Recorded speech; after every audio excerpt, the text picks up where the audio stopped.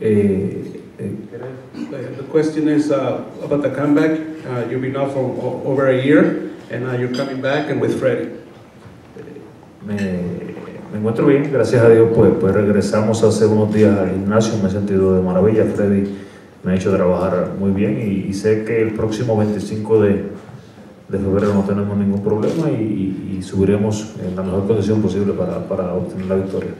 No, I feel real good. I've been working with uh, Freddie for a couple of days. Uh, He's putting me through the paces, you know, getting ready. And uh, there's no question in my mind that I'll be at at top physical shape for uh, the 25th. Miguel, esta podría ser tu última pelea y qué posibilidades de una revancha con Canelo si es que sigues en el boxeo. Estamos, eh, This is, uh, is this going to be your last fight? Are you close to your last fight? And uh, what about fighting Canelo in the future? estamos eh, pensando en James, eh, estamos entrenando para James, estamos eh, poniéndonos listos para, para el próximo 25 de febrero y es lo que tenemos en mente. Lo que venga después, pues vendrá después. Right now, the only thing in my mind is James Kirkland getting ready for the fight. And after that, we can think about what's next or, you know, whatever comes up. But right now, the only thing in my mind is James Kirkland.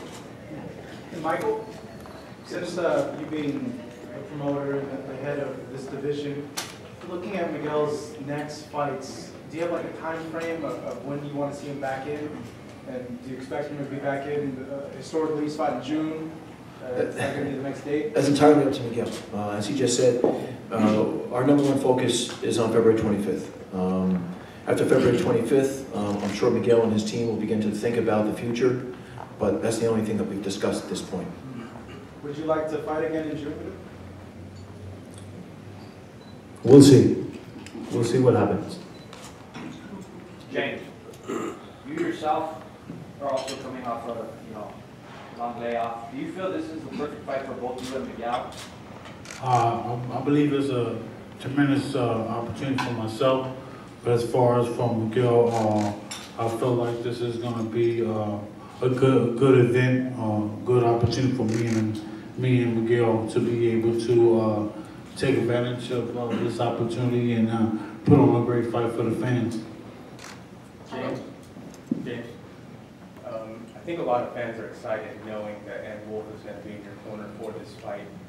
Um, what are you looking forward to in this camp? And if any, are there any things you're not looking forward to in this camp? uh, dealing with Ian is uh, um, not interested in knowing what the next day he'll uh, is held in the, training, but when it comes down as far as uh, uh, what to look forward and what to expect out of uh, out of camp, uh, there's there's just put like there's no limitation to what what we're gonna go through to, to get to to be able to succeed in, uh, um, for fight time, you know. Do you feel like she gets you better mentally for a fight? Um, definitely when it comes down to mentally preparing myself and physically preparing myself, uh, and definitely knows how to uh, push me to the next limit. Uh, to uh, to it, it shows. For both fighters. It's no secret that you're closer to the end of your career than the beginning, and you must be thinking about your legacy. If you had to define what you think your legacy is to the sport, what would that be, and how do you see this fight adding to your overall legacy? Um, when it comes when it comes to me, uh, I feel like uh, getting an opportunity to face uh, Miguel Cotto was somebody that uh, I looked looked up looked up to in boxing and seeing his career, um, the tremendous change that he has brought to the game. Uh, you know, to for, for me to be able to get the opportunity to show what I can bring uh, uh, and, and take my uh, my boxing skill to the next limit um, is definitely something that I can definitely put down in, in, my boxing uh, ability and things that I have accomplished in boxing. And what do you think your career has sport?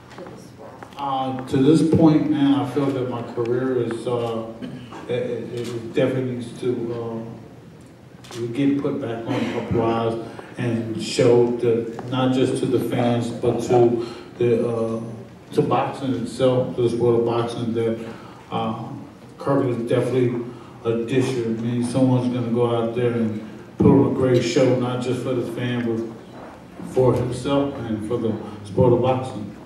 Miguel, the same. Can you repeat the questions? Sure. As you look back now toward the end of your career, your legacy to the sport, what, what do you think that is? How do you think this fight will add to your legacy? This fight is going to be the, the, the newest chapter in my career. I'm going to take it. I'm going to handle it in the best way possible. I'm going to do my best first with Freddy in the gym, and then the night of the fight to, to make my family brought this night. And then my legacy, I, I, I doesn't control. I can't control what people can say about me after I'm retiring, but all I do in life is for my family, for my kids, and that that's, that is going to be my legacy. What they think about me. From your point, how hard is it going to a camp with her? What do you go through? Uh, honest, honestly, when it comes to just working with Ann, we have uh, reputation between ourselves is that uh, I'm definitely going to give my all. And as far as motivation and push me to this next, uh, next, le- uh, next level, uh, she's definitely one of the people that I can say they can bring the best out of me. James, um, did you see Miguel's last fight against Canelo? And if you did, what'd you make of it? Who you fought, uh?